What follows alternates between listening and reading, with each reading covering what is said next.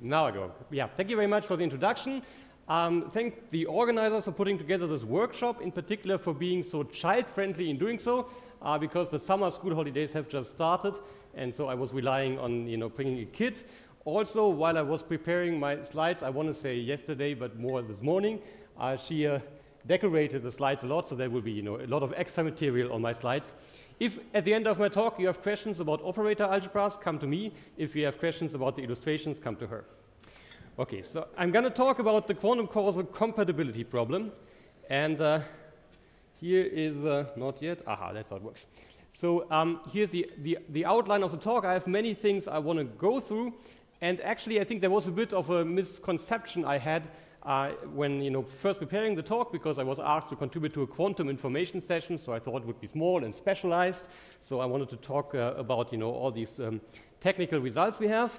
But then I see it's much broader here and it's much more open for everybody. So um, yeah, yesterday I reworked my slides, and it means that from between 90% and my entire talk, I will not actually you know, come to our technical results, but I will kind of advertise this entire research field and tell you why you should care and why it's interesting and why people like it. And yeah, so mm, I don't know, in the end, I have many slides I can you know, go through step by step uh, with, with more technical ideas, but um, at some point of time, the chairman will cut me, cut me short, and then there is no big loss, I think. All right, good. So let's start, and let's start very softly. And um, Let's start with a background on quantum correlations. That's a page from this book, Flying Away, by the way, I've been told. Um, okay, so let's actually go back to what is maybe the first problem to be considered, you know, in the field that later became quantum information. Yeah, the first problem ever was the problem of classifying the degree of non-locality in correlations. So what does that mean? So we look at experiments where there are several observers, Alice here, Bob on that side, and they perform uh, measurements on a, a, quantum state that shares, you know, was prepared in some central source. And uh, yeah, we look at the, the log uh, of, of, of, the data that comes out of that, and we want to understand whether this data is compatible with the classical information or not. And so in the absolutely easiest case, there's an easy way of doing it, namely, uh, we can you know, look at the CHSH uh, correlator that I'm sure many of you, or most of you have seen, and if not, you go to a to Harald Weinfurter's group, and the people will explain to you what it means. And uh, there's a hierarchy of values this correlator can take. It measures strength of correlations, right? And so um, the data you get is compatible with some classical process if this correlation function takes a value at most 2, no? and that is known since the 1960s. Then we know if it's between 2 and 2 squared of 2, then it's compatible with some quantum process. That's what we can achieve. We know since the 1980s. And um, right, more, more generally, any value um, up to 4 is, is, is still compatible with the laws of special relativity. And so what we can do is now in the space of correlations, we have these nested sets, which are kind of uh, yeah, um, sketched here uh, in, in, a caricature. We have this, this local or classical correlations uh, delineated here. Then we, we, can go a little bit above it using quantum mechanics, and we can still go yet further above it without violating the laws of, um, of special relativity. Okay, so, right, so it's an old question, very active since the 1960s. Still, you can ask, why do we care about classifying correlations? And there's a number of reasons. The first one is uh, curiosity, I guess, no? Because, you know, these were really the arguments that convinced people that quantum mechanics is fundamentally different from from classical mechanics and that you know, there would be no quasi-classical theory that can ever be developed, even though quantum mechanics can turn out to be you know, not the final theory of the, of the universe, we can never go back to classical. Then more uh, practically, there's quantum crypto. Again, if we look at you know, what uh, uh, Harald Weinfurter and his group do know whenever they uh, run a quantum crypto protocol, then it works to the extent it works only because you're in this regime that is beyond classical. Everything that's classical is insecure, but still quantum. Everything that's not even quantum, you can't even do. Right? So that's a pragmatic way uh, of, of looking at it. There's another reason to care about this body of correlations, and that comes from many body physics. Yeah, so um, many body uh, properties are also described by, by co correlation functions. And so, for example, if the Ulrich Schollwöck gang, if they run, um, like, for example, a DMRG calculation, um, they will find upper bounds on ground state energies, and using these techniques, you can find lower bounds on ground state energies, and ideally sandwich uh, the truth between the two and, and get a, um, yeah, a good understanding of your system. So there's many reasons to care about that. All right, so what is known about these sets? And uh, that's going to be a bit of a more complicated story, so let me go through the various cases and give you a feeling. So the first, um, yeah, let's first think about this local, this classical set. Can we characterize it, yes or no? And here's an answer. So the answer is, you know, there's these Bell inequalities, like the C value being less than or equal to, to 2, and it turns out that a set of, of, of, of correlations that you measure is classical if and only if the data satisfies all possible Bell inequalities. So this inequality formulation that Bell dreamt up in the 1960s is in fact complete. Yeah, and, and all indeed means there's only finitely many. And so what that means geometrically is that the classical set is some kind of polytope. So every inequality describes a half space in the set of correlations, and a polytope means it's a body described by finitely many of these inequalities. So, so this you can check. It's very easy, very geometric.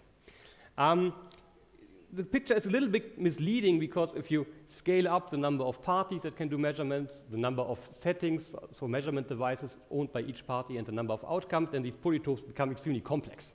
So if, uh, yeah, if these values are high, then it's what in, in complexity theory is called NP-hard, which means uh, in reality there is no efficient general purpose algorithm.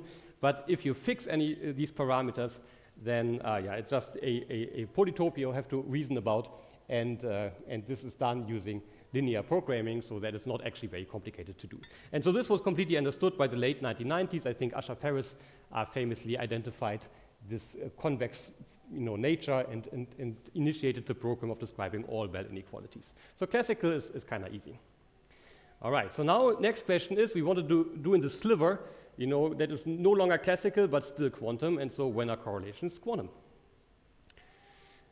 And that turns out outrageously to be very complicated for you know, a very surprising reason, maybe, namely, um, what do I actually mean by a quantum correlation? And you think that is you know, one of the most fundamental notions of quantum information theory, but it turns out in the last few years that we don't actually agree as a field what a quantum correlation is, how to correctly model it uh, mathematically, right? And, and what it boils down to is that there are the set of allowed correlations depends on how one models locality in quantum mechanics. So let's talk about this for a few minutes, because that is a surprisingly difficult topic.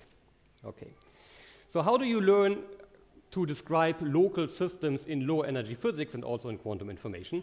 Well, you know, quantum mechanics one, you say each party has a Hilbert space, and the total Hilbert space is a tensor product.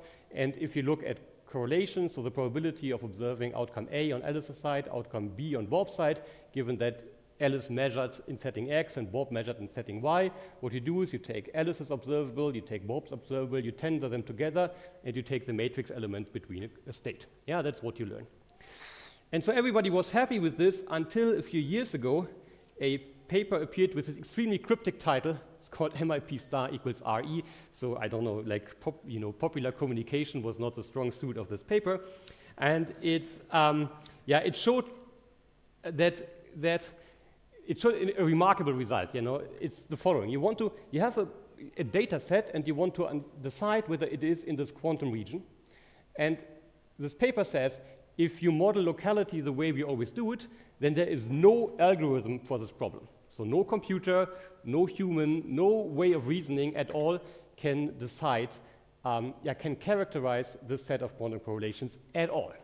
And uh, yeah, that's understood since 2020, and I made a little star here you know, at understood because it's a 160-page paper, and I don't know anybody who actually claims that they understand it. Certainly, I haven't worked, worked through the details myself, I have to admit. Okay, hmm, so maybe then the pro program dies here because we just can't reason algorithmically about these sets. They might be just too complicated. Right, but actually in relativistic quantum field theory, as you all know, or also in algebraic quantum mechanics, as you may not know, um, there is a different way of modeling locality. Yeah, what you do in, in a field theory is that with every region of spacetime, you associate the fields that are defined there and an observer located in this region of spacetime, they can build observables out of these uh, fields. And the, the microcausality assumption of, of, of, field theory says that observables in different spacetime re regions, when they are space-like separated, they have to commute. So there is no notion of a tensor product anymore, just commutativity. So in this model, correlations are given by you take an observable of on, in Alice's region and observable in Bob's region, and they just have to commute. They don't need to be on different tensor factors. And this problem turns out to be much easier to treat algorithmically. It's still difficult. Uh, oh, this actually understood. There should be no star here. That's not so difficult. So there is what is called a converging sequence of semi-definite programs. Now I have to tell you what that means. Okay, so this little ellipse here is um, a caricature of the set we want to characterize, the set of quantum correlations. And what one can um, work out is a sequence of, of algorithms that are better and better. So you go from the outside to the inside that give an ever more tight characterization of that set. And every one of these outer approximations is easy to implement on a computer using a technique called semi-definite programming. Yeah, so it means if I have a data set, a data set is some point in correlation space, then as you increase the, if you, you know, go up the sequence, at some point of time, you will find a sequence if it's incompatible with quantum, at some point of time you will find um, a program that witnesses this, that tells you this is not quantum. Yeah? So what one can is one can prove inco incompatibility in finite time. Yeah, if if um, all your finite levels of the hierarchy say compatible, compatible, compatible, you never know whether this might change in the future, but at least if it's incompatible, that you can, uh, yeah, that you can uh, witness. All right. So here's the summary of my first part, you know, what's the high-level overview. Okay, so classical correlations can be characterized by linear programs. It's very easy, even though these things become big. Um, there are actually two definitions of what quantum correlations are, and we don't know at this point which one is the right one to use, which one is physical. Um, they seem to agree in practice, so that we know there must be disagreements, but they, maybe they're only in some esoteric settings that don't actually appear. Yeah, tensor product correlations cannot be algorithmically characterized at all, outrageously. Commuting observable ones can, so we will work with those a bit pragmatically, no? since we don't know which of the two models is the right one and one we can handle, that is the one we will use in the remainder of this presentation. Good. Right, this has all been known and all been done. So what I now do is I now you know, make this problem a little more complicated to steer you a bit towards the problem that we are working on. And then we have to talk a little bit about causation. All right, so no uh, nerdy talk without an XKCD comic. So let me present this one. So there's two figures. And one says, I used to think correlation implied causation. And then, then I took a statistics class, now I don't. And she says, oh, sounds like the class helped. And he says, maybe. Right? Okay. Okay, I thought that was funny. Um, so, um, right, so seeing, co yeah, correlation and causation are famously different. But are there? Okay. So let me give you one example, which is uh, an example I didn't make up, but there's part of the social science research literature that's often cited in this context. Namely, there is a famous study asking whether obesity is contagious. Namely, there's an empirical finding that people of similar body weight are more likely to be friends. Now, that's a correlation, you see. Now, there could be various causal explanations. So let's go through some hypotheses. It could be that the causal error goes in that direction. So you prefer to have friends of similar body constitution. Or it could be that there's a reverse error, you imitate the habits of your friends. And so that would be, you know, the study headline, whether obesity is contagious. Or it could be that there is an unobserved common cause. For example, you go to this MCQST conference and then you get many friends and you go to the hut and have a dinner there. And uh, I have to report, I, have given this introductory slide in, on many conferences since a decade, and I've made this joke many times and just changed the name of the conference. And turns out many conferences have a lot of food, so you know it kind of always works. All right, good. So now the question is um, whether if we just have correlations, they can ever tell us something about which causal model is the right one. And so it turns out if you only have two variables like friendship and body weight, then this is not possible. But if you have more than two variables, distributions do sometimes hold information about causality. And so that's what I want to talk to you about now. This is used in the social sciences. That is some hypothesis about mental health causal networks in the social science, probably very hard to, to uh, treat. We are going to look at idealized settings of very simple causal models. So let me tell you a little bit about that. Okay, so we're going to make this compatibility problem of correlations a little bit harder in that we are imposing a causal structure on quantum states. Let's maybe look at this lower example, which is the easiest. We have three observers, Alice, Bob, and Charlie, and they don't just perform measurements on some global quantum state, but we make this causal hypothesis that the quantum state was generated by first you know, Alice and Bob sharing one state, and then Bob and Charlie sharing an independent state, and, and Bob can measure on both of this, these halves. So if you write it out, I don't know whether you can all see it, maybe it's a bit, little bit low. Um, so these correlations now written in the tensor product model, which is more familiar, are of the form um, measuring, do a measurement by, on, by Alice, by Bob, by Charlie, and the state they are measuring on factorizes across this cut in the middle of Bob. Okay. And uh, right, now um, I can explain the title of my talk, namely what is the quantum causal compatibility problem is given as input a classical distribution that people might have measured in the lab and a candidate causal structure like you know a diagram like this, uh, can you find out whether the two are compatible or not? Yeah, so it's the problem that we had before, but now with this independence constraint in addition. So what is known there? It is very difficult even classically. Even classical statistics have started thinking about this maybe 20 years ago, and they aren't very far along either. And so what, yeah, what I call causal, some people call network. That's just the same thing. And what makes it so difficult is that we have these additional independence constraint, and that is a non-convex constraint, so these sets look much more, have a much more complicated form right? And so we need to have some ways of dealing with those. Good. All right, again, we can ask why do we care about this? Again, you know, number one is probably curiosity. It's, you know, the relation between, you know, uh, what correlations are possible in nature appeals to people who think fundamentally. How does correlation and causation, you know, can be linked together also appeals to, appeals to the same kind of people. So I guess, you know, I just care for the sake of itself. But of course, also um, there are, again, applications in quantum communication, namely if you go to settings where you don't just have Alice and Bob exchanging photons, but you have a more complicating, complicated setup, as some people um, um, are, are, building at the moment, you know, centered for example, this big project centered in the Netherlands, trying to build up a, a quantum internet where there's many parties and non-trivial network structures. So what can you even do there? For this, you have to understand what is possible classically in a network and what is possibly quantum in a network, and neither of these two questions are well understood at this point. So there's a lot of fundamental research to be done. Okay. So good. So then this is the introduction of my talk. So that's why I care about it. That's what we want to look at. And you know, the background is that basically nothing is known. That's a bit too much, but very little is known. Very little complete information has been achieved.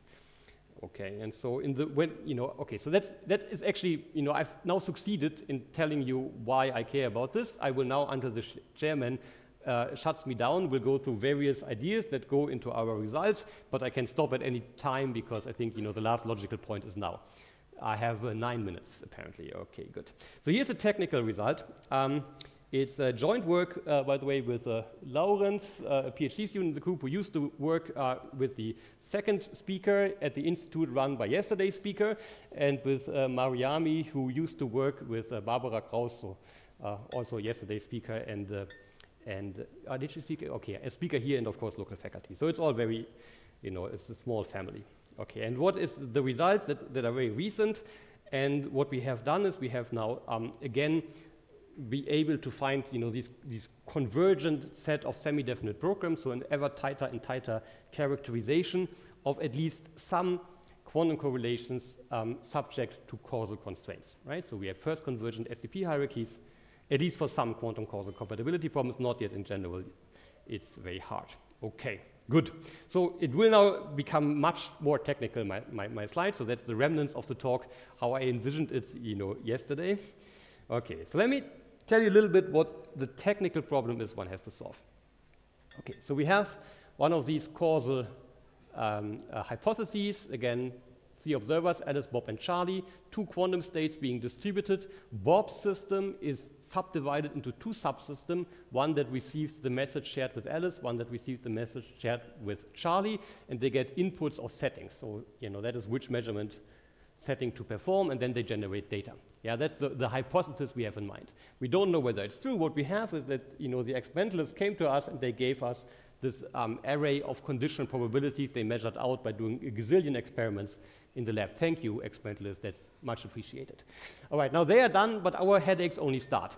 So it's com com uh, compatible if, and now there's this existential quantifier. So all of these elements, building blocks in the hypothesis, you know, we have to decide whether or not they exist.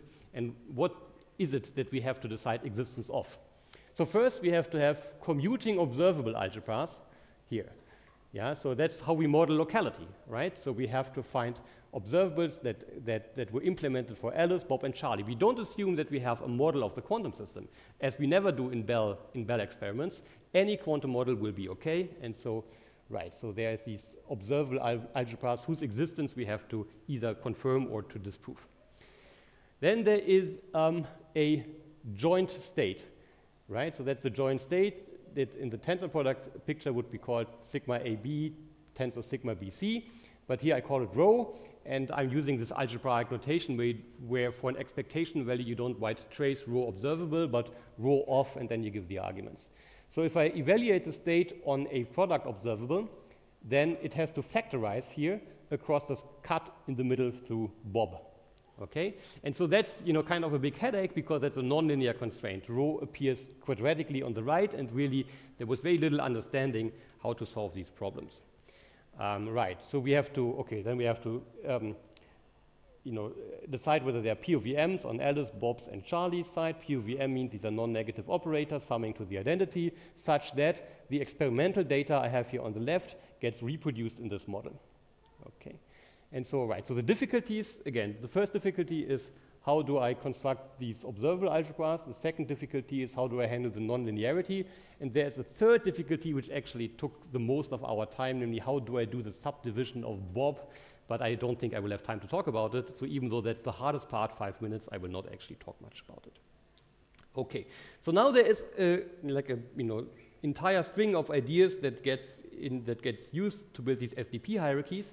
And maybe with five minutes, there is only one of them that I will um, try to explain to you because also kind of cool. It's called the inflation method, and this name has been around since a few years. It was uh, developed here at Perimeter Institute in, in, in, 2016 at a time where the word inflation, everybody sound, thought it sounded funny, and now everybody thinks it sounds sad. But, um, right, okay, uh -huh. Okay, so, um, uh, right, but that's how it's called. Okay, and they're, they're different. They're in, it's actually interesting because I said in the beginning that not even classically are these problems well understood. And in fact, the first group of people who, who gave a good characterization of classical causal uh, um, problems were these people who you might know because they're all quantum researchers. So actually, the quantum gang solved the classical problem first and then uh, has been working on the quantum uh, uh problem ever since. All right, so hooray for quantum. Good. And so what is the idea? So the idea is, remember, the problem is that we have this nonlinear constraint. Uh, rho of AC is rho of A times rho of C, really not good. And the idea is to relax it and to replace uh, independence by symmetry. Okay? So let me try to um, say what the idea is. Okay, so we have these, these Christmas trees that you know, pop up on my slides everywhere. And it, the, the logic is the following. It says that if P is compatible with my causal hypothesis, then I can use these causal ingredients and build a much bigger model about which I can also make statements. And what do I do? I, okay, so let's say there are these um, states here shared between these two parties, the state shared between these two, and the shared state shared between these two. So it's now this triangular scenario. Then I can copy them, right? I can have a new set you know, I have two uh, shared states here, two shared states there, and two different shared states there. And then I can also distribute those copies to Alice, Bob, and Charlie in, in, this, uh, in this network. And then um, what I can do is I can, I can, now Charlie doesn't just get one input from the left and one input from the right. Charlie gets one input from the first level from the left and from the right, and one input from the second level from the left and from the right. And so the joint measurement that Charlie performs can now be performed between the first level or between the second level or across, like first level from the right, second level from the left, and so on. And so I get a much, much, whoa, are you sure you want to shut down your computer? No, cancel. Okay, that was close. Okay, some button I pressed here. Uh, okay, and so um, we have now this much more complicated object where we have n copies of all the hidden states, n squared copies of the observables. And now, because they, can, they are all the same, I have this permutational symmetry. So if I evaluate the state on this first level, I can also evaluate the state where I change two indices and Alice and Bob mix the first and the second level, and it, it needs to be the same. All right, and so that's a consequence of independence is symmetry. And now, okay, so the first, you know, of this like five ideas, and the last one I can present, and then I'm, I'm done, is um, that you can actually walk the other way around. So there is this uh, um, entire field of study called De Finetti the theorems that tells you that um, if you have if you have infinite symmetry, you can, you know, um, turn things around and deduce independence from symmetry. And so that was proven in many different contexts, but it wasn't proven before in the commuting operator model. So as you know, task number one we had to achieve is uh, to uh, you know, have a max tensor product De Finetti. It's very oper operator algebraic. But what we can do is we can get rid of these, um, of these nonlinearities by going to a much bigger inflated model and imposing symmetry yeah, and then we can walk back. All right, so that's idea number one, and then there is idea number two, and it already says tschüss here in this little extra illustration, so I kind of knew I would you know, stop here. Universal algebras, if you like C-star algebras, talk to me. Uh, if you like polynomial optimization, talk to me. Then we had to go to von Neumann algebras. If you like von Neumann algebras, talk to me too. Aha, I presented that one at Perimeter Institute, so the formula is labeled by a hockey stick because that appeals to the local audience. And um, and I will not explain that to you at all. And if you put it all together, then um, you arrive at a summary, namely that it's very fruitful to um, marry causal analysis with quantum theory. There's many interesting problems, very little understood. So if you want to like, leave your mark on the field, you can decide problems nobody has any idea how they work. And the theory is still not well understood. But first scenarios can now be treated by convergent SDP hierarchies. And with this, I thank you. And these are two cherries in love with a disco ball. Don't ask me why. All right.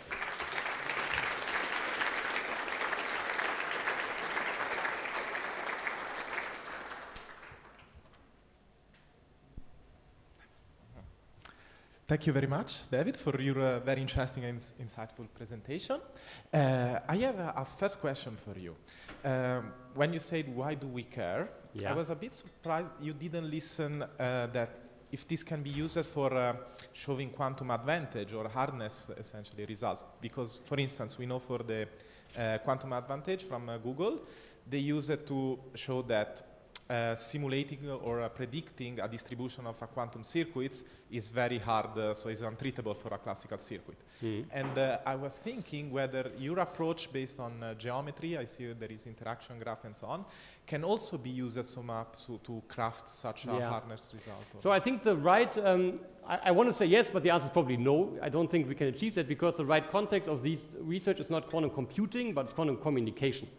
Yeah, so it definitely, def definitely gives you an advantage in quantum communication scenarios. So if the hidden states shared are quantum, there are things you can do that you couldn't do with classically hidden states, but, but, but they are not, they don't relate to computational complexity. And if we talk about, you know, this Google quantum advantage um, um, paper, of course, they aim at a computational advantage. And so that is not the goal here, it is, it is a communication advantage. So why would we care in the end is, uh, I guess, for having communication protocols that observe some network communication task, maybe voting, maybe co coordination of different parties in a network um, that you can't do classically, but they are not computational in nature. So, you know, we can't, uh, so, so, so, the Google line of research would not directly benefit from this. Thank you. Are there other questions? So it's, uh, it's Weinfutter, not König in Munich speak.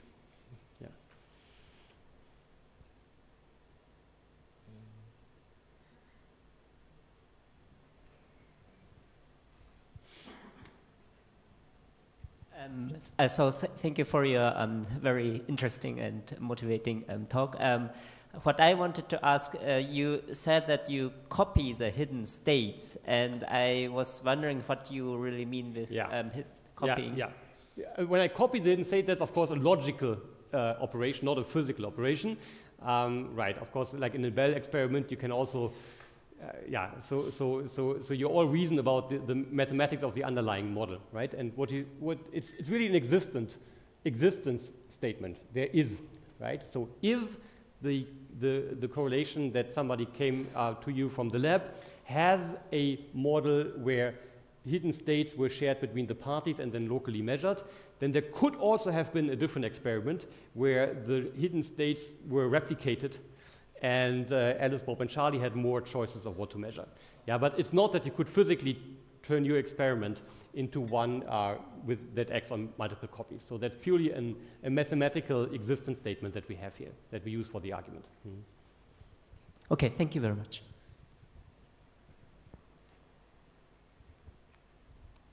Other questions?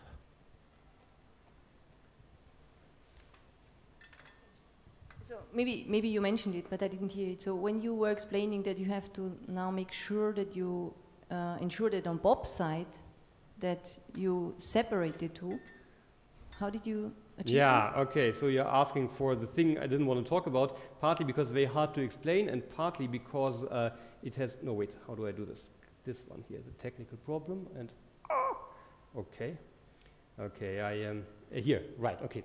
Partly because it's hard to explain, and partly because it caused me a lot, a lot of headaches. Okay, good. So this is going to be very highly compressed. So there are two difficulties with this constraint. The first difficulty is that it's nonlinear, but we know how to deal with that. The second difficulty is that um, this existence statement means Bob's system has two halves, one receiving the message shared with Alice and one receiving the message shared with, with Charlie.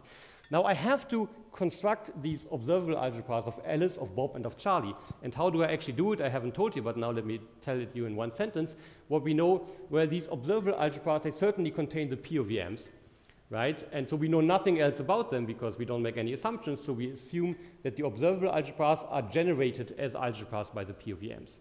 And that works for Alice's side, that works for Bob's side, but it does not work, work sorry, for, for Alice and Charlie it's fine, but it does not necessarily work for Bob because in Bob, I need to have you know, product. I need to have product observables, and the POVMs, they might all be entangled. And the algebra generated by the POVMs might not be big enough to contain the products. So this is, I think, you know, if you really, you know, solve all the other problems, the last one that, that still sticks and that we really can solve only in special cases is how do we um, construct a, you know, how do we enforce that, that, that Bob's observables are generated on a, on a product space. And this is, is, you know, I don't know. In special cases, we can do it, but in general, we have no idea. And it might well be that there is some computational or algorithmic intractability there and that, that you can't do it in general. I don't know that. But that is the big, big, big problem that we are still thinking about. Okay, thanks. Very good. There is maybe time for our last quick question.